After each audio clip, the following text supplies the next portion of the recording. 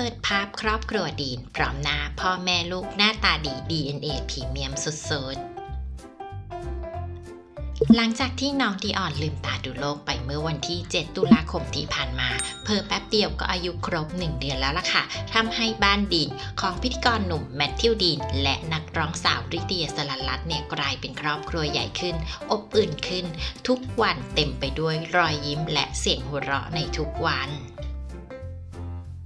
และล่าสุดลิเดียนั้นก็ได้ยกครอบครัวไปถ่ายแบบด้วยกันเป็นครั้งแรก แบบพร้อมหน้าพร้อมตา 5 คนพ่อแม่ลูก โดยระบุแคปชั่นเอาไว้ว่า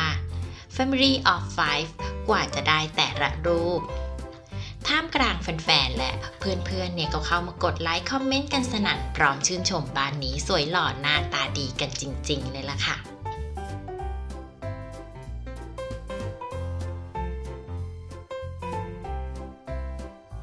และเพื่อที่จะไม่พลาดคลิปใหม่ๆอย่าลืมกดติดตามค่ะ